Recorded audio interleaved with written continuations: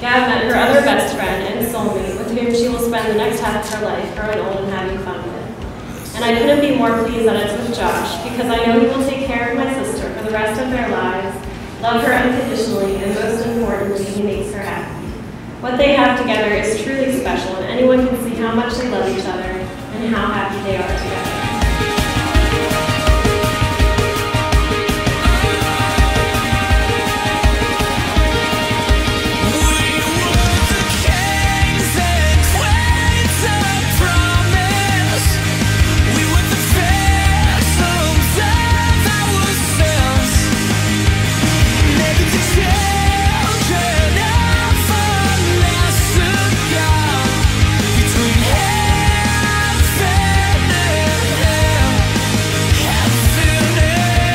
And Josh, man, we've had some good times. We're not even talking about last night.